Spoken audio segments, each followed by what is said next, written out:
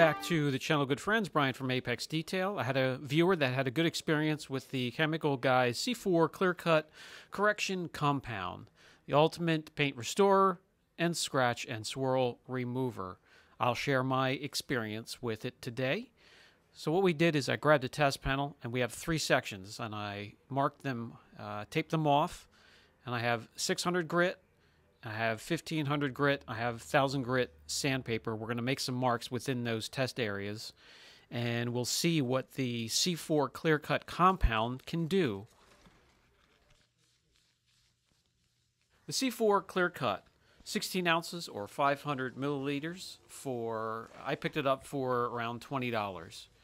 It is made to cut out scratches, acid rain, etching, severe swirls, holograms, and 1200 grit sand marks.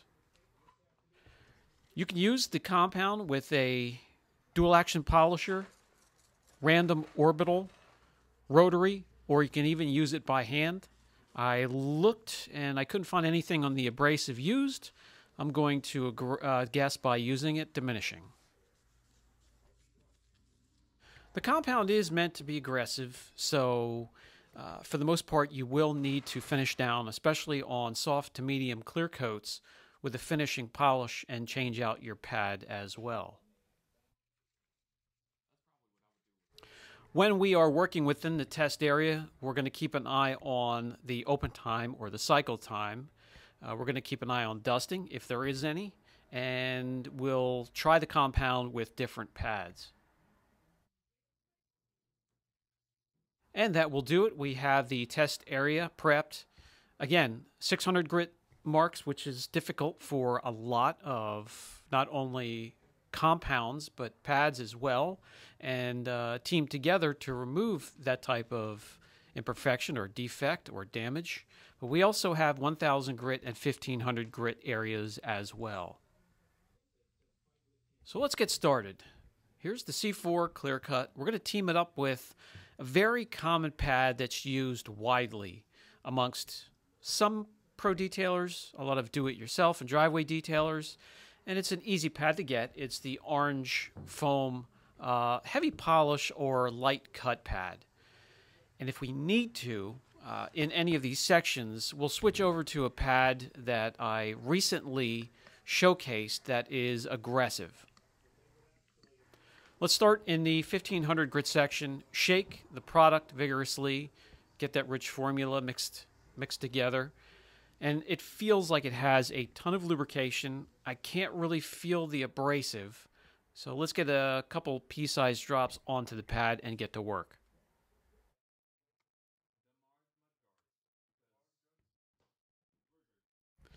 We'll do a few passes, maybe a crisscross pattern. Uh, we'll keep the pressure to moderate and uh, correction speed and the speed of the polisher somewhere around the fourth speed setting.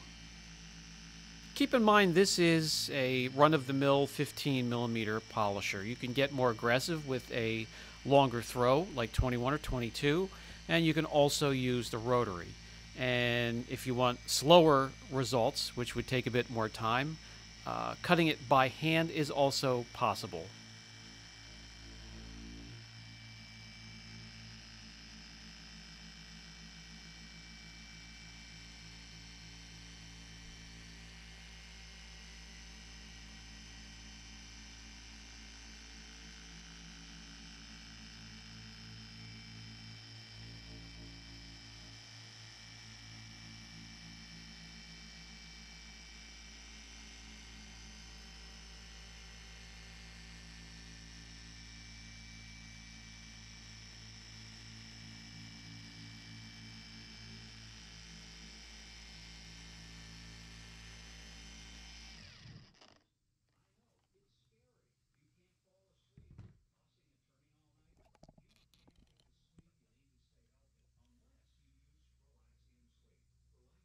So far, I can tell you it does have an impressive open timer cycle time.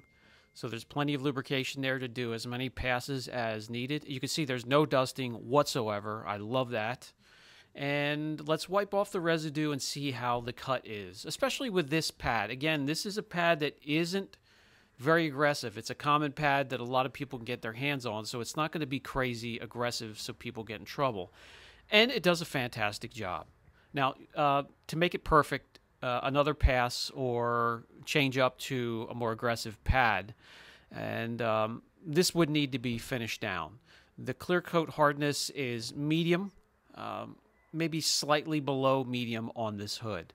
Let's move over to the second section here. This is this contains 1,000 grit marks, so a little bit harder. Uh, on the label, it says it can remove 1,200 grit, so we're going beyond that here in the middle section. And then we'll go crazy on the last section that has 600 grit marks, uh, just to see what it can do.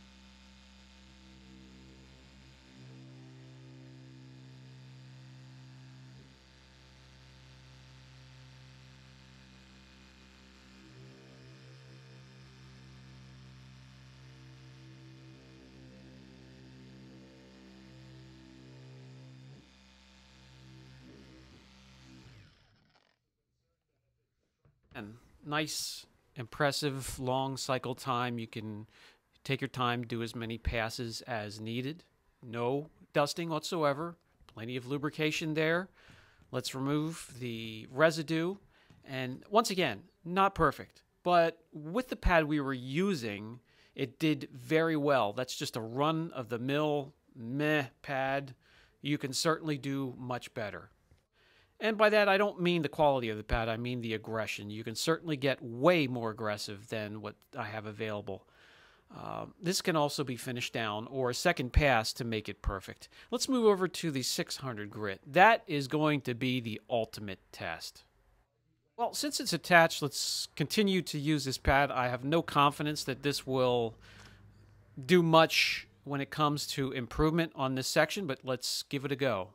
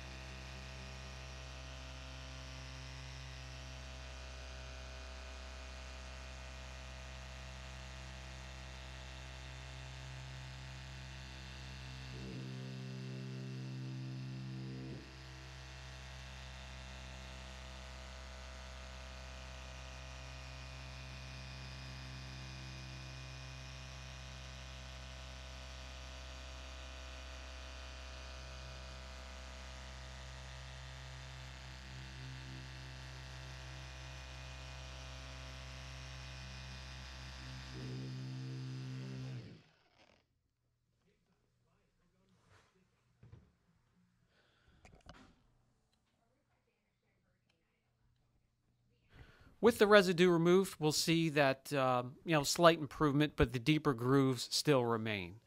We will swap over to a more aggressive pad and see if we can make these disappear altogether.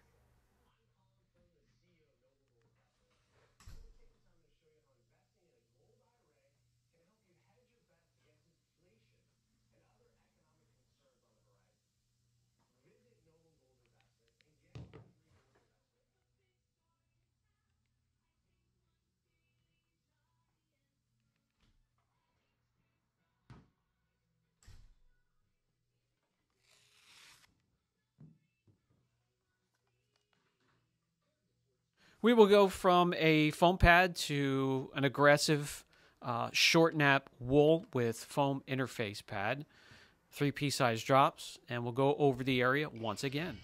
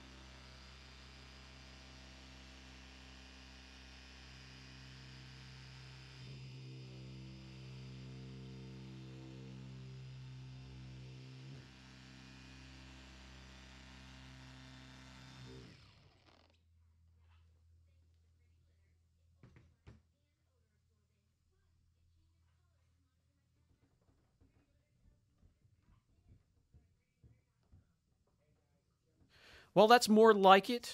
And keep in mind, this is 600 grit uh, sandpaper marks in this area. There's not a whole lot of combinations, pad or compound, that can remove those marks. So to compare, 3D1 is $29.99 for 16 ounces. And just like 3D1, if you surround yourself with a bunch of quality pads, you're going to be in great shape and you're going to be successful. And uh, with the no dusting or low dusting and long cycle time, I can recommend